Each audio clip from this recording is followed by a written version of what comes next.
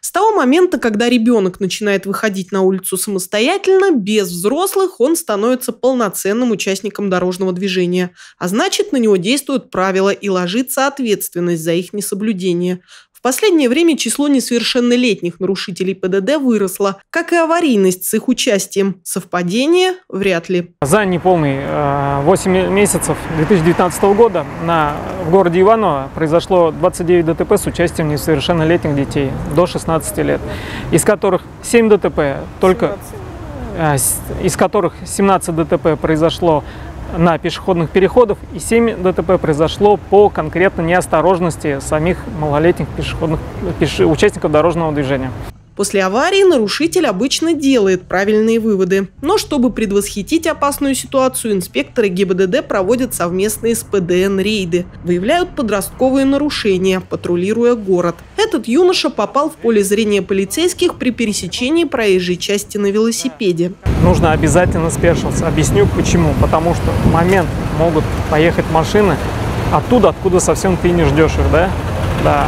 Ты, соответственно, головой не будешь крутить, ты будешь тебе смотреть все время прямо. Да? Если ты куда-нибудь повернешь голову, ты либо упадешь, либо поедешь не в ту сторону. Вот. И это возрастает риск да? наехать на тебя, не дай бог, конечно, водитель транспортного средства. Новый учебный год для мальчика начнется с сообщения о его нарушении в школу и родителям. Пока без штрафа и постановки на учет в комиссии по делам несовершеннолетних. Но за повторное нарушение все это будет. Если э, несовершеннолетний участник дорожного движения будет и впредь нарушать правила дорожного движения, то там пишутся определенные дальнейшие справки и направляются уже э, в комитет по делам несовершеннолетних. Привлекаются также к ответственности родителей, что не объясняет своему ребенку правила дорожного движения.